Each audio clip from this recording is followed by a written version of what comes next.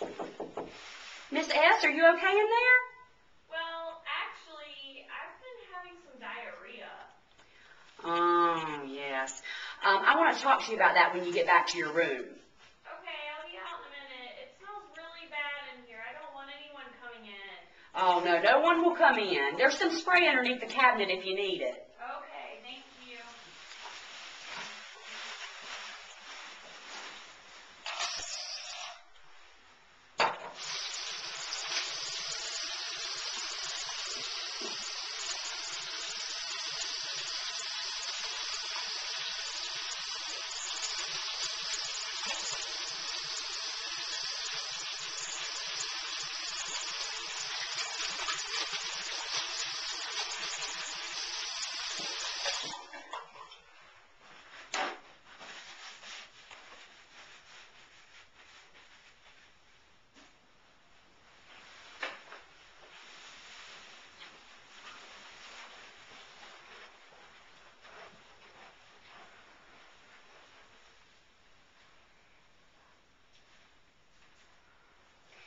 I know you have some questions. Um, I have put a contact sign up, and I'm wearing a gown and gloves to protect myself and other patients.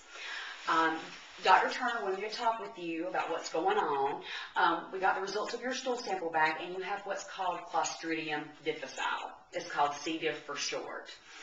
And uh, some of the signs and symptoms are diarrhea, sometimes even bloody diarrhea, um, dehydration. Basically, it causes an inflammation of your colon, and it's from being on a lot of antibiotics. Um, everyone has C. diff in their intestines anyway, but usually the good bacteria ward that off. They keep the levels down. Well, when you're on all these antibiotics, it kills all those good bacteria, and it causes it to flare up.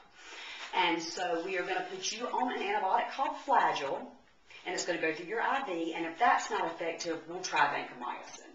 Okay, so I just need to remind my visitors that they need to wash their hands before they come in, um, wear the yellow gla- gown and gloves, um, and then wash their hands after they leave. Isn't there a 15 second rule? Yes, Twinkle Twinkle Little Star is a good song to sing while you're washing your hands. That's a good rule of thumb.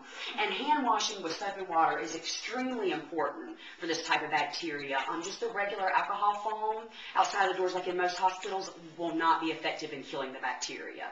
Okay. Um, my next question is: Is there some kind of medication that I can take for this diarrhea? Um, can I have some Imodium? Um, no, the Imodium will keep that bacteria in your intestines. You want to get rid of it. You need you need to poop it out. So we'll try the Flagyl and the vancomycin. Okay, so in summary, what you're saying is, um, when I came into the hospital, um, because of my pneumonia, Mhm. I was on all those really powerful um, IV antibiotics, Mhm. and those caused the um, good bacteria in my colon to be not as effective as the bad bacteria, this, this C. diff bacteria, and so now it's Mhm. taken over. That's correct. So I have to allow my body to get rid of that naturally. Yes. Um, and Dr. Turner is going to put me on a new IV medication called Flagyl, and hopefully Yes. that will take care of the problem. That's correct. And if not, then we will try um, another IV medication called vancomycin. That's correct.